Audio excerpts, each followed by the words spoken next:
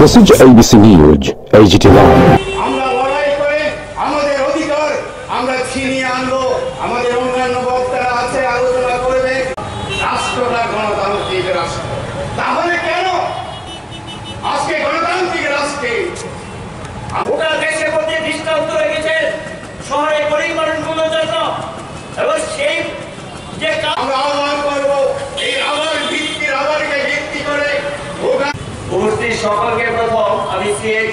থেকে শুভেচ্ছা এবং অভিনন্দন জানাচ্ছি। গত আট এবং নয় জানুয়ারি ঐতিহাসিক দেশের স্বাধীনতার পর একটা ধর্মঘট হয়ে গেছে। বিশ কোটি মানুষ এই ধর্মঘটে অংশ নিয়েছে উনিশশো সাতচল্লিশ সালে দেশ স্বাধীন হওয়ার পর এত বড় বৃহত্তম আন্দোলন আমরা ভারতবর্ষের মানুষ যারা খবর রাখে, এটা কখনো অতীতে দেখেনি। সেই আন্দোলনে দেশে প্রায় সব কটা ট্রেড ইউনিয়ন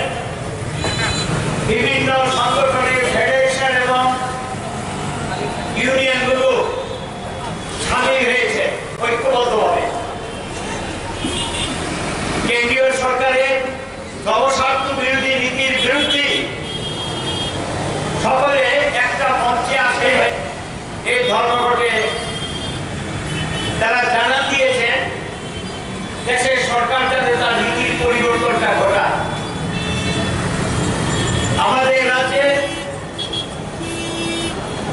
শত বাধা, হুমকি, ভয়ভীতি দাস পেয়ে নেবেন বাড়ি ছাড়া করবে এগুলো সত্ত্বেও গোটা রাজ্যে আমাদের রাজ্যে যা হিসাব সত্তর শতাংশ মানুষ এই ধর্মঘটে সামিল হয়েছে। এর থেকে পরিষ্কার আক্রান্ত মানুষগুলো শ্রমজীবী মানুষ, তাদের নিজেদেরকে রক্ষা করার জন্য রাস্তায় নামতে বাধ্য হয়েছে। সারা দেশে বিজেপি সরকার ক্ষমতা আসার পর মজুরি নামে শব্দটাই তুলে দিচ্ছে যেমন খুশি যত ঘণ্টা খুশি কাজ করালেন কত টাকা মজুরি পাবে তার কোনো নিশ্চয়তা নেই। দেশের আইনে যে রক্ষা কবচগুলো ছিল মজুরি পাওয়া কত টাকা মজুরি পাবে মাসে? চুক্তিবদ্ধ হোক ঠিকাদারি হোক যাই কিছু হোক কত টাকা মজুরি ছিল বন্ধু করে দিয়ে মালিকদের খেয়াল খুশির উপর শ্রমিকদের ভাগ্য ছেড়ে দিয়েছে কাজ করবেন প্রয়োজনীয় মজুরি পাবেন না মজুরি চাইতে গেলে ছাঁটাই করা হয় এই ধরনের একটা পরিস্থিতি গোটা দেশে যেমন তৈরি হয়েছে এরা যে বিজেপি সরকার ক্ষমতা আসার পর শ্রমিকদের উপরও সেই ধরনের একটা পরিবেশ তৈরি তারা করেছে।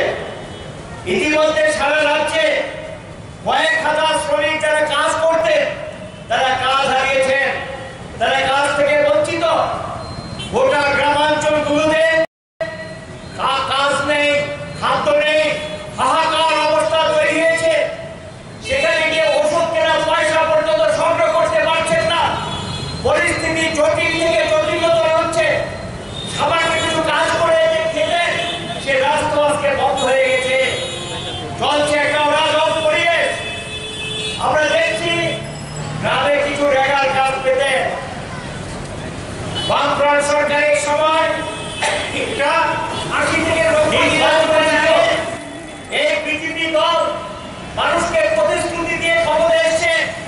তারা দুইশো দিনের কাজ দেবেন তিনশো চল্লিশ টাকা মজুরি করবেন। আজকে দশ মাস হয়ে গেছে। তিনশো চল্লিশ টাকা মজুরি তো দূরের কথা।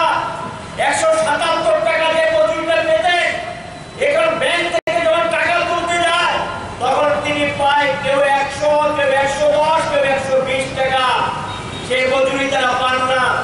মজুরি থেকে বঞ্চিত। এবং একশো সাতাত্তর টাকা যে মজুরিটা নির্ধারিত আছে ত্রিপুরার জন্য। এই মজুরিটা পর্যন্ত পাচ্ছে না।